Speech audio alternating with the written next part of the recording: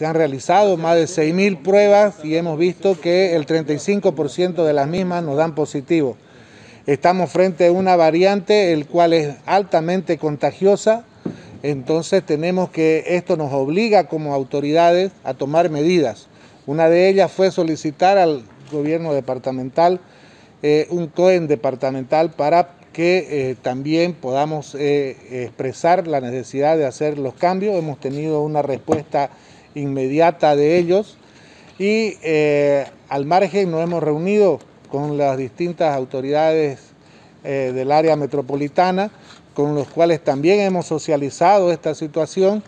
con la Fiscalía, al cual Ministerio Público que le damos las gracias por la participación y a la Policía eh, Boliviana también, para dar respuesta a las personas que infrinjan esta normativa.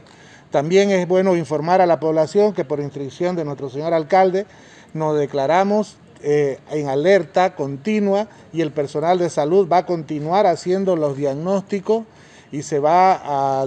dar la medicación de forma gratuita en todos los puntos habilitados en las cuatro redes de salud, en los 15 distritos, donde funcionan tanto las brigadas masivas de diagnóstico, las brigadas móviles y los equipos fijos. Las personas que infringen o, quebranten esta situación con respecto a que no cumplan esas normas que ha, ha manifestado hace un momento, el Ministerio Público en forma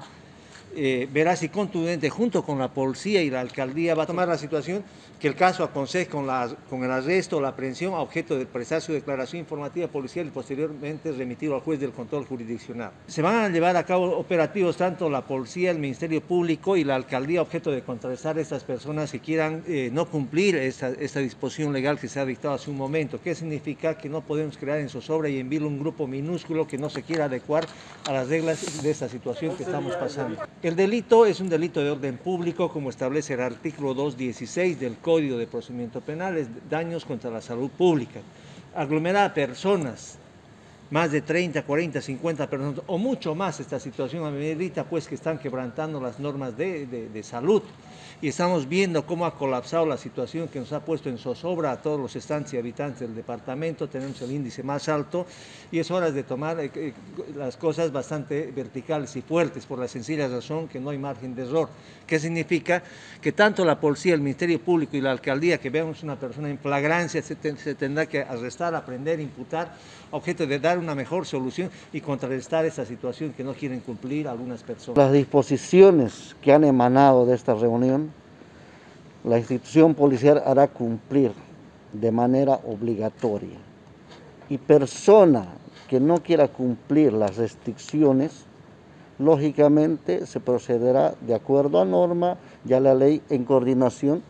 con la Fiscalía y también con la Alcaldía, para que de ahí resulte, haya un resultado y se tome decisiones. Y la Fiscalía procederá en cuanto a derecho y nosotros cuando llegamos con la fuerza pública para que se dé cumplimiento.